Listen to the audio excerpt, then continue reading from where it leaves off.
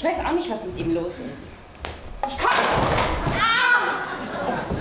Was ist denn jetzt schon wieder los? Schatzi, Schatzi, was ist passiert? Bin auf diesem Ding da ausgerutscht. Auf dem Ding hier? Das ist ja wieder großartig. Vielen Dank, Matthias. Oh, Scheiße! Ist er oft auf Geschäftsreisen? Manchmal, Und wie lange ist er dann so weg? Zwei Tage, manchmal länger. Und wenn er dabei andere Frauen trifft? Camille, das wird er nicht machen. Sicher? Werd mal aktiv, Junge. Verdien mal ein bisschen Geld. Ein Glück mache ich mir nichts aus Geld.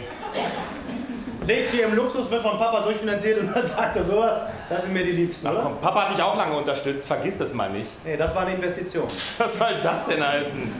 Weißt du nicht, was eine Investition ist? Gut angelegtes Geld. Pass auf, was jetzt kommt. Weißt du, wie viel ich heute verdiene? Nee, sorry, ich kann heute nicht. Ich habe meine. Ich habe Kopfschmerzen, Lena. Liegt's an mir? Nein, nein. Nein, selbstverständlich nicht, Schatzi. Liegt's an unseren Schulden? So ein Quatsch. Ich hebe mir die Munition nur für den richtigen Tag auf und dann wird scharf geschossen.